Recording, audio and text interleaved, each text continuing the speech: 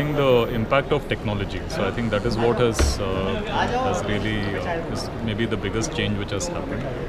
Um, I think the importance given to HR is one more. So maybe in the last 10, 15 years, I think HR has become much more important. Uh, you're also seeing uh, leaders, uh, HR leaders graduating or you know growing up to become you know CEOs of firms and so on. You probably never saw that earlier, except in a few isolated PSUs. Okay. Uh, so I think overall, if I were to say the importance that the firm per se gives to the HR function, one and two, how technology, which largely had left HR untouched, has you know kind of uh, impacted it in a big way. people have embraced technology immensely.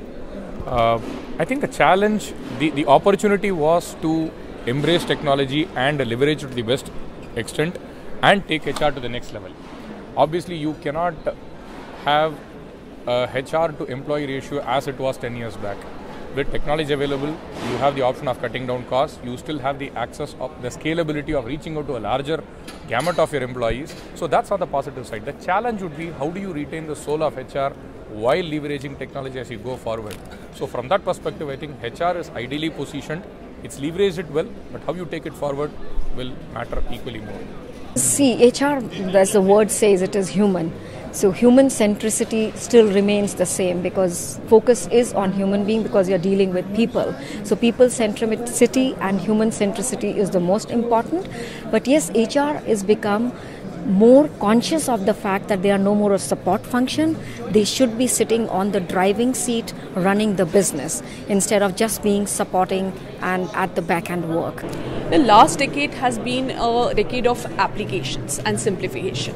So while the data gets more and more uh, ability to collect data and put it all together. So I, at the click of finger, now have access to all kinds of information about my people, about where they are, about their profiles, etc. So that's I think is the biggest uh, evolution because 10 years ago one would have to really create those databases or Excel files, while today it's all synchronized and can be extracted at a click of a button.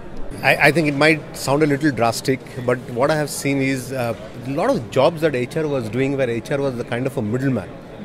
You know, and if you have seen the internet uh, revolution, the internet actually took away the middleman. Think of an Amazon, think of Flipkart, whatever, whatever.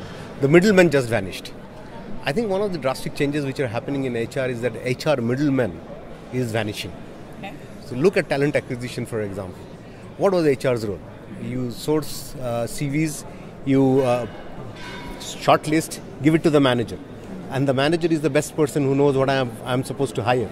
So HR was nothing, but he was just pushing paper from one side to the other side as a middleman.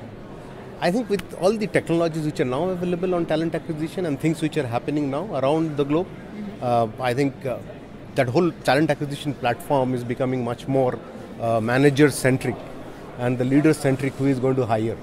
And HR will have no role to play in two, three years. I think the biggest change that has happened is uh, that in India specifically, uh, HR has leapfrogged the debate about being a business partner.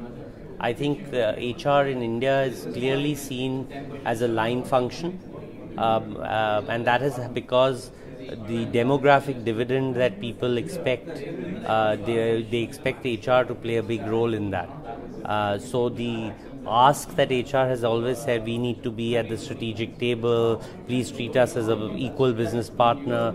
I think that has uh, accelerated significantly, and uh, HR people today are seen as uh, working shoulder to shoulder to deliver business outcomes.